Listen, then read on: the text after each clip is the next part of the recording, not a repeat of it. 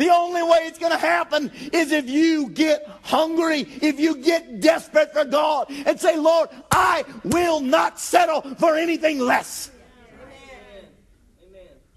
I require your touch. I must, I must have you come and impact my life. I don't want anything else. I don't want a substitute. I don't want a program. Don't want a nice little song and dance. I want God to come down and touch me now. Nothing else. When you get desperate, something will change. When you get to that place where you're desperate, something will change. Over in Mark 10, in verse 46, another man was desperate there. They came to Jericho. And as going out of the city with his disciples, Jesus, a great number of people, blind Bartimaeus, the son of Timaeus, sat by the highway begging. And when he heard that it was Jesus of Nazareth, he began to cry out and say, Jesus, thou son of David, have mercy on me. And many charged him that he should hold his peace. But he cried all the more, Thou son of David, have mercy on me. And Jesus stood still and he commanded him to be called. And they called the blind man, saying unto him, Be of good comfort, rise. He calls you. And he, casting away his garment, rose and came to Jesus. And Jesus answered and said unto him, What do you want that I should do to you? And the blind man said to him, Lord, that I might receive my sight. And Jesus said to him, Go your way, your faith has made you whole. And immediately he received his sight and followed Jesus. And immediately he received the touch of God. Doesn't even say Jesus reached out and touched him. Doesn't say he reached and touched the hem of Jesus' garment. But he was desperate. And out of desperation, he was crying out, Jesus, of David, have mercy on me. Everybody around him I just can just imagine the religious folks of the day. Shh, you're embarrassing us. Be quiet, Bart. Hush. You know he had a short name. Nobody's going to go to Bartimaeus all the time. Hush, Bart. You're going to embarrass us. Somebody stand in front of him. Get in front of him. He's moving. He didn't care. Said he cried all louder, Jesus, son of David, have mercy on me. And Jesus heard him. He heard a cry of desperation. And he stopped right there. I'm not going any further because I hear the cry of faith. I hear a cry of faith. What's God hear out of you? You say, I cry a lot, brother. That's different, though, maybe, than the cry of faith. God's not just going to respond to tears. Okay? Nowhere does it say that God responds to tears. But many times that's all we can muster. Get up a bunch of tears.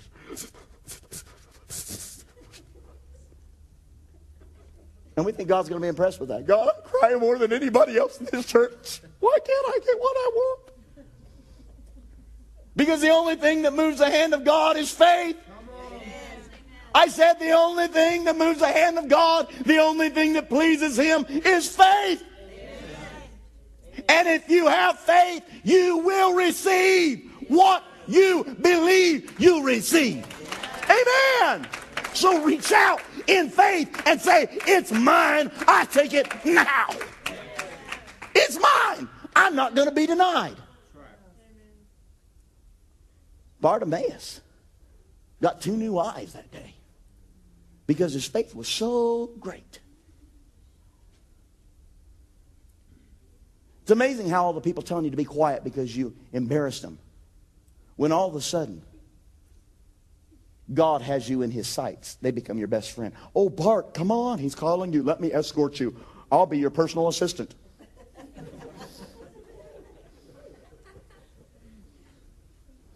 Do you need a glass of water, Bart? Come on.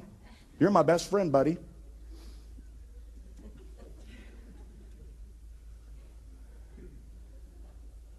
But you know what? God's still listening for cries of desperation. Let me just take it a little bit further, okay? Let me just take it a little bit further. Because he responds to faith. And he responds to faith in his word. He doesn't just respond to his word. The word says his word will not return void, it'll accomplish that which it's set forth to do. But there's a lot of people that just quote his word, but there's no faith behind it.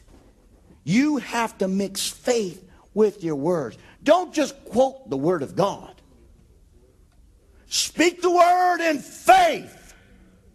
Speak it in faith. Say, God, this is what your word says.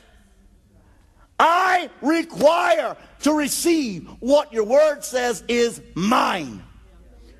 Your word says that by your stripes I am healed. And in Jesus' name, Lord, I receive my healing. It's mine, it's mine, it's mine, it's mine.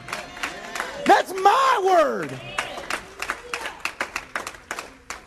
I'm not going to let it slip past me.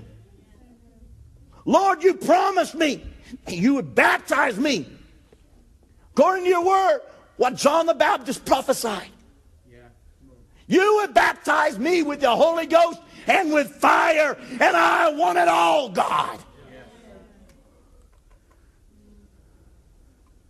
Yeah, put him in remembrance of his word, but use faith.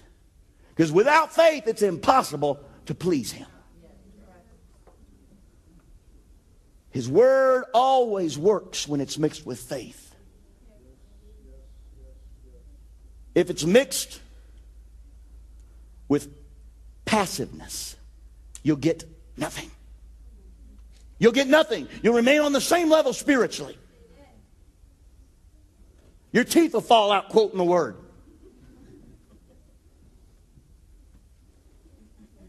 The word has to be mixed with faith. The word works, though. The word is power. Don't let anybody tell you anything different. This is pure power. But if you quote the word, and then after you get done quoting the word, you in turn then go to the substitute of the anointing. How much faith, let me just ask you, how much faith do you think you have? How much faith do you think you have? Because we do that a lot. And we've got to get to a place of desperation.